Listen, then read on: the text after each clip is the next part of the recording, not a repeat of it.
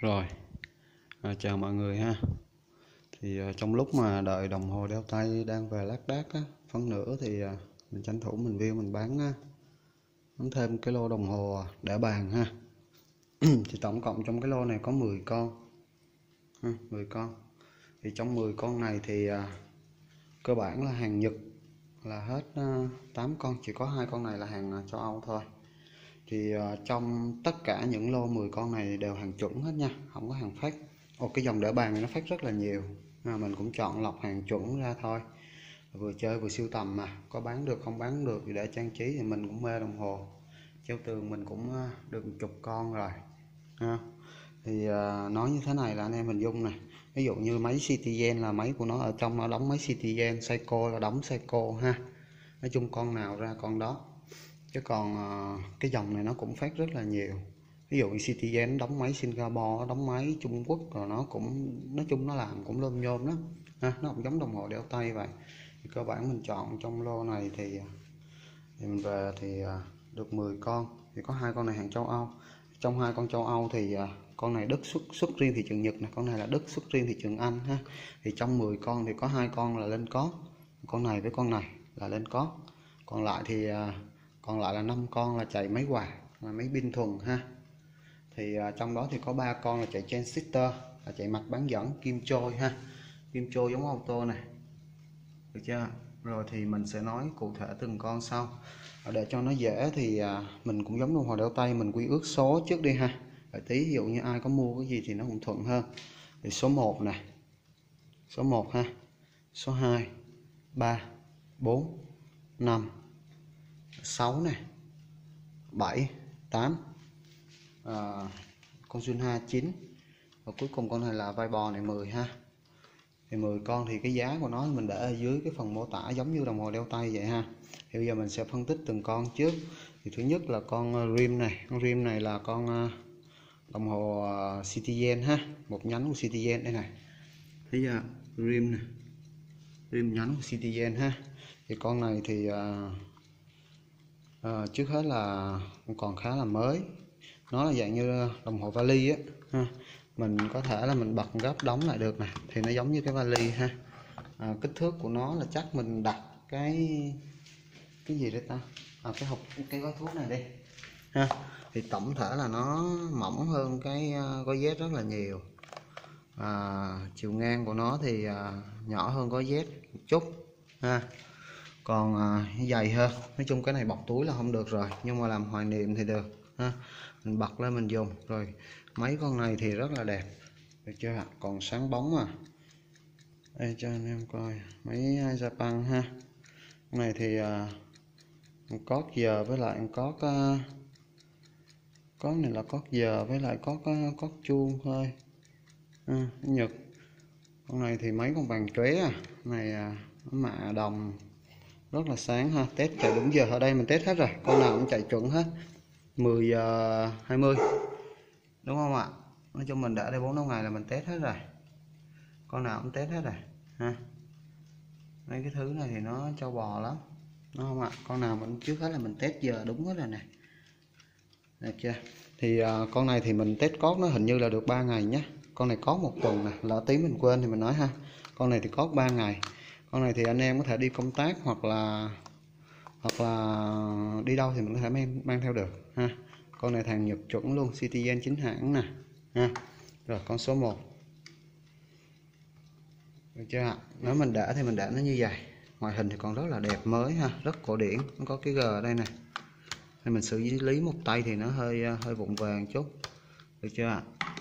Rồi con số 1 ha. Con số 2 này con này thì ở đây có ba con. Mình nói luôn cái tí nữa mình quên. Thì ba con này nó chạy hai pin ha.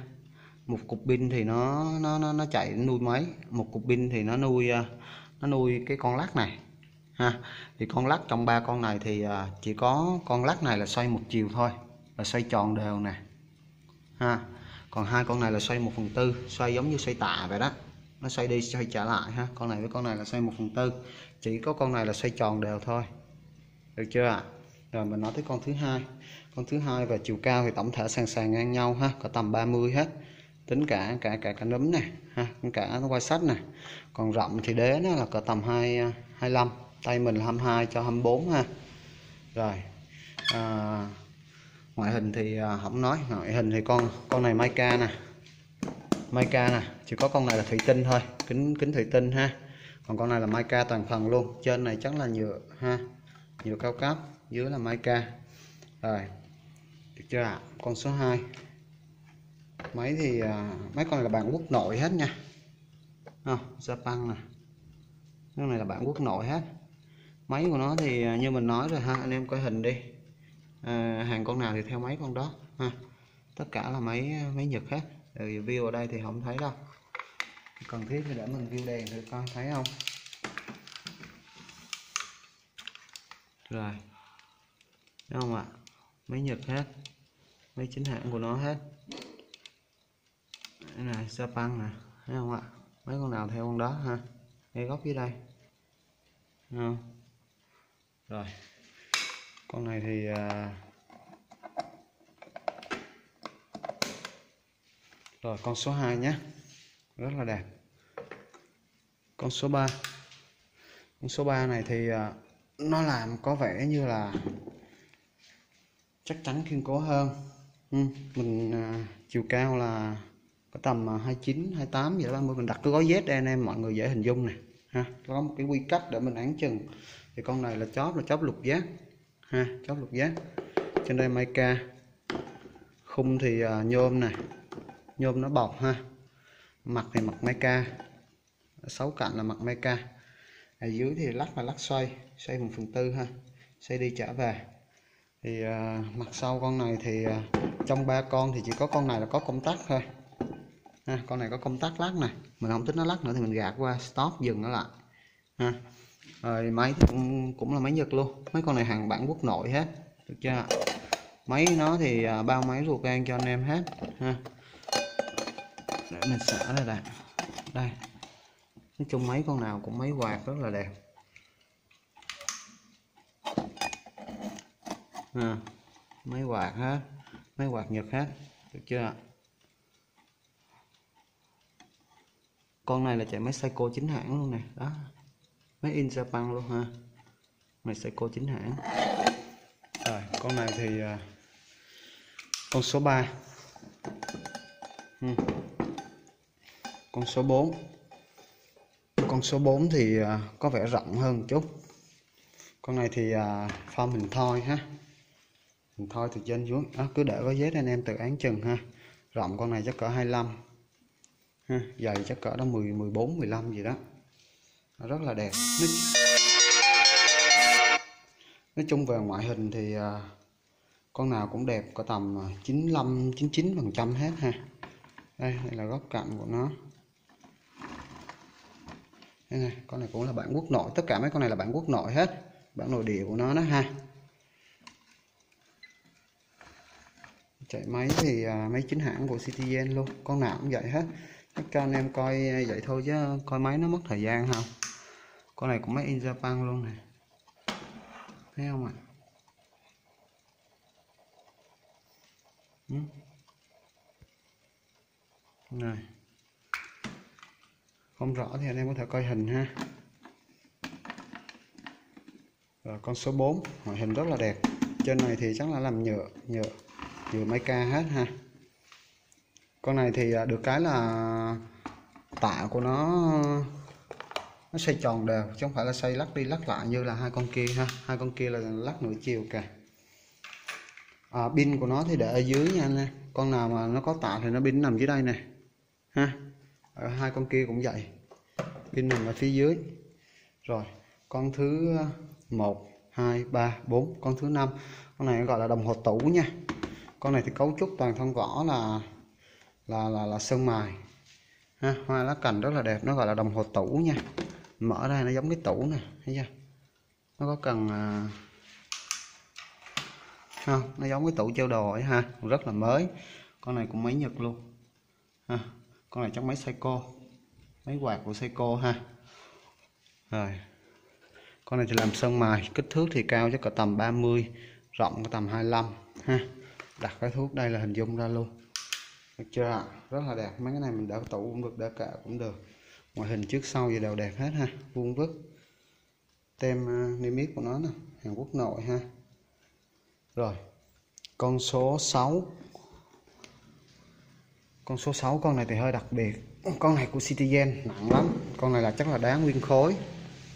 Ha. Con này đá chứ không phải thủy tinh đâu tự nhiên nó rất là nặng. So với trọng lượng thì à, nặng lắm. Tự vì thủy tinh là mình nó không có nặng và nó không có tạo không có tiếng được. Mình cảm nhận là như vậy ha. Rồi thì à, con này thì chạy máy transistor có nghĩa là kim trôi được chưa mặt trong nó là mặt xanh mắt mèo nhá xanh loan tả mắt mèo rất là lạ ha. Xanh đen á. Ha. đá thì là đá nguyên khối rất là đẹp. Nói chung con này nó hơi à, hơi đặc biệt. À, khổ của nó là 20 20 dày thì chắc cỡ tầm à, dày con này chắc cỡ tầm à, 6 phân rưỡi 7 phân ha dày 7 phân. Rồi. Ngoại hình thì khỏi khỏi bàn đi ha. Nhìn là anh em cảm nhận được thôi. Con này chạy mấy mấy cái con chạy máy transistor thì cái pin nó lớn hơn. Ha, máy này chạy máy transistor này nữa pin nó lớn hơn. À riêng con này thì mình chỉ với cách sử dụng nha. Này để lỡ anh em nào lấy con này là phải biết cách sử dụng này mỗi lần chỉnh giờ là giật cái cốt này giật hết ra luôn nha. Đây là cái cốt này nè. Mình giật hết ra luôn. Còn cái cần này là cần nghỉ, cần stop với lại là cần ấy. Khi mình gạt qua là cho máy nó nghỉ, nó không chạy nữa. Khi chỉnh dần là nấm cái cần này nè, giật cho nó nó nó tuôn ra đâu là mình vừa giật, mình vừa xoay thì nó mới quay kim ha. Để dây chỉnh ra là nó không có xoay kim đâu nè. Phải giật nó ra ha. Rồi. Con số 6 con số 7 con số 7 trời cái cục này nặng quá. Hai con này thì gỗ nha. Số 7 số 8 này là bằng gỗ hết. Con số 7 thì con này cũng chạy trên sitter đó nó ghi dưới đây trên sitter nè. Ha là là là, là chạy bằng mạch bán dẫn á. Thì mấy cái cấu trúc mạch này nó sẽ phức tạp hơn là mấy quạt bình thường ha. Cho nên nó chạy kim trôi giống như automatic này ha nó gọi là mình chạy transistor. Được chưa con này thì rất là cổ điển ha. Cũng là hàng nội địa luôn. Đây chủ nhật đây. Con này Citizen chính hãng thì à, mặt sau nó đây. Này nó sản xuất bởi à, đây nó có ghi nè.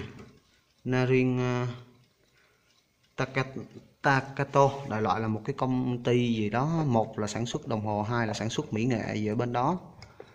Hiểu nôm na là vậy. Mấy con chạy transistor này thì nó có một cái đặc biệt cái máy nó rất là độc ha. Và nó khi kim nó trôi thì nó tạo ra cái tiếng tích tắc to như là dòng lên có vậy ha. Đó mọi người cảm nhận đó nó tạo ra cái tiếng tiktok rất là to. Cục pin của nó thì nó pin nó lớn hơn pin pin tiểu bình thường mà nó nhỏ hơn pin đại một chút ha. Pin này pin thị trường mình bán rất là nhiều không có phải lăn tăng. Này mình mua ngoài chợ mà ha. Con này thì phong tròn. Rồi con số 8 thì nó cũng giống con này. Gỗ này anh em ha, hỏi mình gỗ gì thì à, chắc có lẽ là nó làm bằng cây gỗ sồi. Gỗ thì mình không biết chính xác đâu bản thân mình cũng chơi gỗ. Đây nè mình có một cái bộ sưu tập gỗ nè, đúng không ạ? Nhưng mà mình không biết cái gỗ đó gỗ gì, nhưng mà nghi nó giống như cái gỗ loa này nè. Thường thì âm ly với lại mấy cái đồng hồ này nó làm một cái loại gỗ ha, gỗ cây sồi nè. Cái thuộc tính của gỗ này thì nó giữ âm tốt, nó không có nứt nẻ, nó không có nặng như nhóm một mỹ nghệ đồ của mình đâu. Ha. và chiều cao của nó thì à, có tầm 25 rộng thì có tầm gần 40 cái này có tầm 36 ha. Con kia thì à, gọn hơn một chút, được chưa? Cấu trúc hai con giống nhau chạy trên sitter hết ha chạy mạch bán dẫn á, giống như âm ly của mình nó là đánh đánh sò á ha trên sitter là bộ mạch bán dẫn đánh sò. Còn nếu mà quýnh chạy mà chạy quạt không thì giống như trên âm ly mình nó giống như là đánh STK đánh tự động á ha.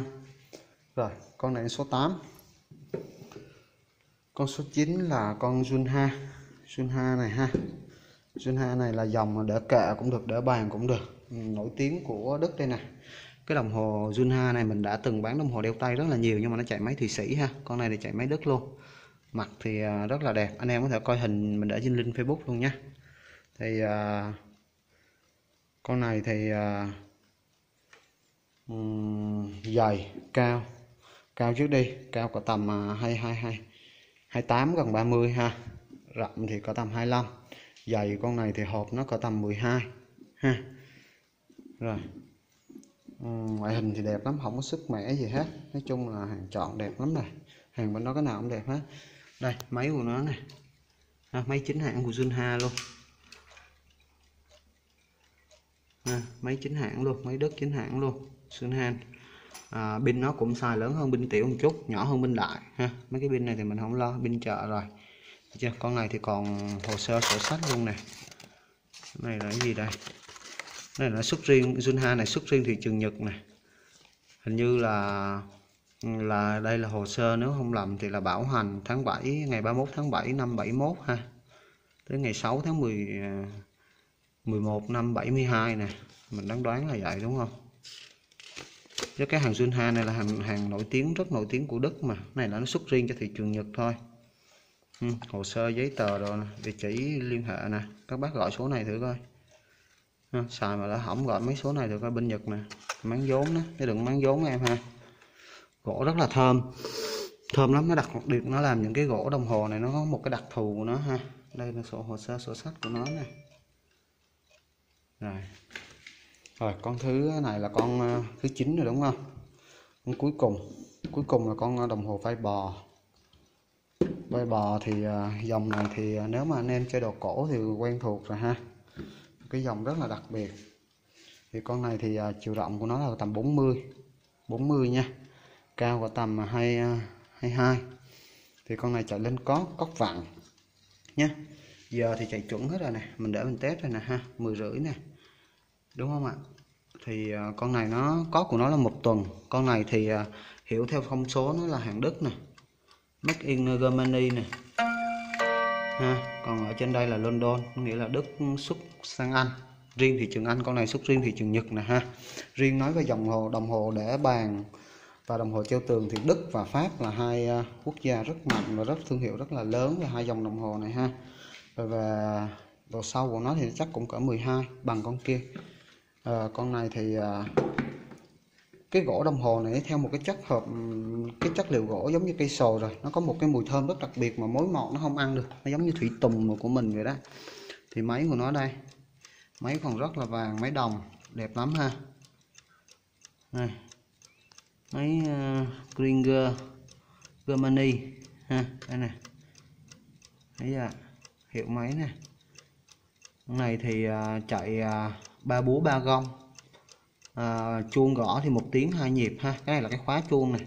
Mình gạt xuống là mình khóa chuông lại ha. Nếu mà ban đêm mình không quen mình sợ nó ồn thì mình gạt xuống khóa chuông lại. Không có thì mình nâng lên. Nó giống như là cái dòng treo tường thôi. Ha máy rất là đẹp. Máy đất nguyên con máy đồng.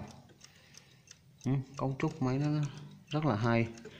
Rồi thì à, con này thì à, nó nó nó nó chỉ gõ chuông theo nhịp thôi chứ không phải bản nhạc ha. Bản nhạc thì giá nó mắc hơn, với lại thường là bản nhạc là vỏ bản nhạc nó phải là 7 gông chứ còn ba gông thì thường nó chỉ à, đánh chuông thôi.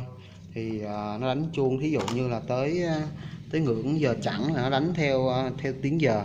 Thí dụ giờ lẻ, giờ rưỡi này thì nó đánh theo báo hiệu thôi. Ví dụ giờ mình test nè. Tới 11 giờ ha.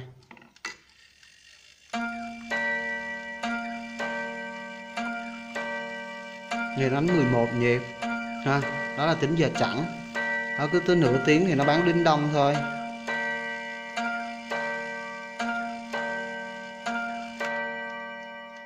Rất là ấm, ha, như tiếng chuông chùa vậy. Ví dụ tới giờ mà giờ giờ rưỡi thì nó sẽ báo báo báo nhịp thôi. Nó nếu mà giờ lẻ, giờ giờ giờ lẻ thì nó vậy thôi, ha. Rồi, giờ là đủ ha. Lô 10 cái. Rồi, mình nói lại nè số 1 à. Citizen ha, con này cũng rất đáng siêu tầm nè ha. Chạy 9 giờ chuẩn chuẩn xác lắm, con nào cũng như con nào hết thấy chưa từ quạt cho đến có. Rồi, số 2 số 3 số 4 số 5 là tủ nè, số 6 là Citizen đá nguyên khối nè. Số 7 số 8 ba con này chạy trên sitter kim trôi hết nha. Cả ba con này kim trôi thì bây giờ anh em coi dưới à, phần mô tả, mình sẽ mô tả bằng à, bằng bằng bằng bằng bằng văn văn viết. Còn bây giờ mình chỉ miêu tả bằng văn nói thôi ha. Con này số 9 là con à, Junha số 10 là con à, London con Đức xuất riêng cho thị trường Anh ha. Rồi, anh em nào mà mua ủng hộ mình con nào thì alo cho mình ha. Còn nhiều quá, cảm thấy nó rối quá thì alo cho mình. Còn nếu không thì cứ đọc số lại ha. Số 1 nè, số 2 nè, số 3 số 4 số 5 số 678 ba con này chạy trên sitter 678 là kim trôi giống như automatic của mình ha. Được chưa số 9 thì uh, Junhan của Đức chạy uh, pin. Số 10 là chạy lên có ha. Rồi anh em nào có nhu cầu thì alo cho mình. À, giá thì mình để à, dưới phần miêu tả của video luôn ha. Để con nào thì để giá con đó. Rồi một lần nữa là cảm ơn. Chào mọi người.